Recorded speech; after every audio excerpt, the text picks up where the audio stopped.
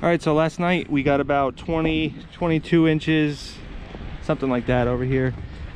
This snow was so wet at the beginning that you can see that there's just like a solid two to three inches of like pure ice. This stuff is so hard you just slip right across it no problem. You can't get any traction with that at all. Plow truck wasn't really doing much at all. It was clearing the stuff off the top that was a little bit fluffier but this stuff here if i don't get underneath of it and get this driveway exposed so the sun can get to it then it's to stay like this and get even worse.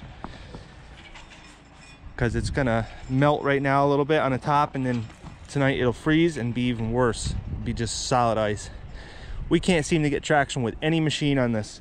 I think the only thing that might be somewhat helpful is some chains. The thing that's really working is this bucket just getting underneath of it at a slight angle pulling this stuff up. You can see i got all this with that. My brother's over there trying with the loader. He's doing some stuff but it's it's just so hard to get traction in this stuff. Like I said the snowplow doesn't really do anything. I took that out was done in about 15 minutes.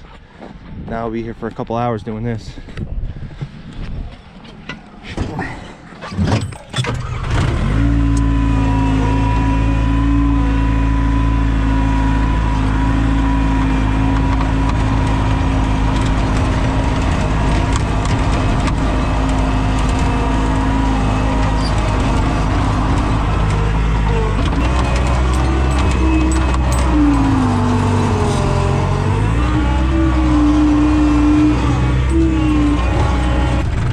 the only way for me to get traction in this is to, to get underneath of it and then I got some dirt for my tires to be on. That's about the only way I can get any traction at all. And you can see that like because this is sloped a little bit, it the bucket only go, wants to get one side and then the other is kind of left there. So it's not easy.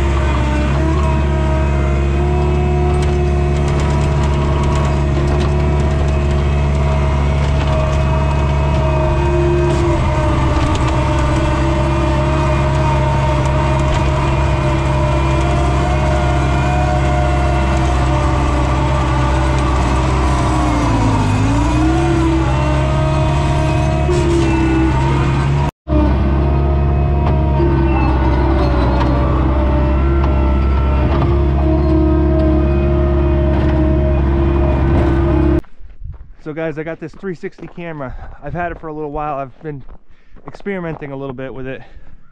I found, finally found a program that'll work with it pretty good, pretty easily and quickly. So I know a lot of you are probably wondering what the heck is going on, but this is really the future right here. Because see, I can stand here right here and not move anything. And here we go. Look at the camera moving around. I can look anywhere as I want right now. And it's called reframing. Or I can just put it on 360 mode and you guys can view a virtual reality video. The problem with that is that you can't have a virtual reality video with a regular video, a regular flat video on YouTube. So I'm gonna start doing some 360 videos and I'll put a link in the description for it.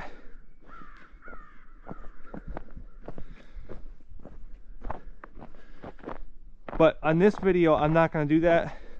I'm gonna do that on some future projects. But anyways, I want to just show you guys what's going on with this ice because there's still a lot on this driveway. But I'm just not to keep tearing up the machine trying to get it up. Hopefully the sun will come out today and just having a little bit of this exposed will help melt it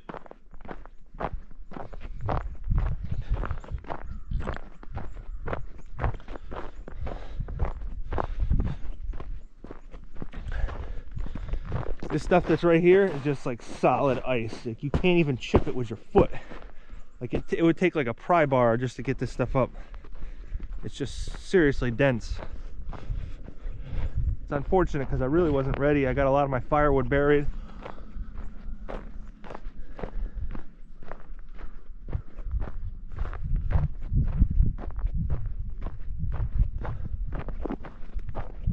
Got a lot of snow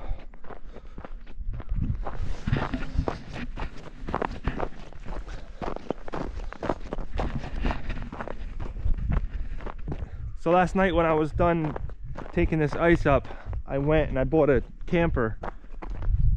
Um, I just got this thing basically as a temporary thing to, to stay in while I'm up north building that little cabin.